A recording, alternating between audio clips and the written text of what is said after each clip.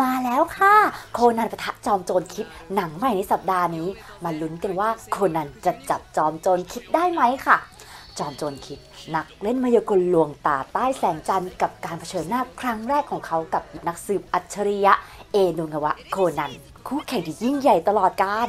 เรื่องนี้จะเน้นที่จุดกำเนิดของจอมโจรคิดค่ะ ว่ามันเป็นมายังไงทำไมถึงกลายมาเป็นคู่แข่งตลอดการที่เก่งกาจขนาดที่โคนันก็ยังจับไม่ได้สักทีค่ะ เขาเก่งถึงขนาดที่ว่าบางคนน่ะยกให้จอมโจรคิดเนี่ยค่ะ เป็นพระเอกของแอนิเมะเรื่องนี้เลยนะคะ ส่วนตัวหนังก็จะเล่าถึงจุดกำเนิดของจอมโจรคิด หรือคุโรบะไคโตะค่ะ ว่าเริ่มมาจากนักมายากลที่ชื่อไคโตคิด หรือเดิมที่ชื่อว่าคุโรบะคินอิจิ นักมายากลผู้ยิ่งใหญ่ที่ถูกสังหารระหว่างการแสดงที่ปารีส จนกระทั่งลูกชายของเขาคุโรบะไคโตะซึ่งก็คือจอมโจรคิดในปัจจุบันนี่แหละค่ะ ไปพบห้องลับที่ทำให้เขาได้ค้นพบตัวตนของพ่อเขาอีกในชื่อหนึ่งว่า จอมโจร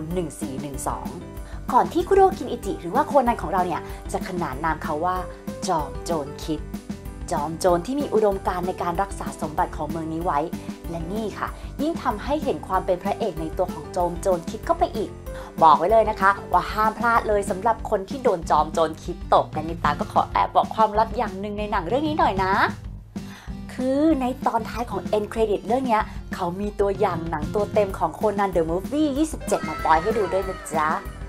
สำหรับหนังเรื่องยอดนักสืบจิ๋วโคนันปะทะจอมโจรคิด จะฉายในวันที่ 7 มีนาคม 2567 นี้ค่ะ โดยจะจัดฉายในโรงภาพยนตร์ในเครือเมเจอร์กรุ๊ปและก็ SF Cinema อย่ารอช้าค่ะเพื่อนๆ ไปจองผ่านช่องทางออนไลน์กันได้เลย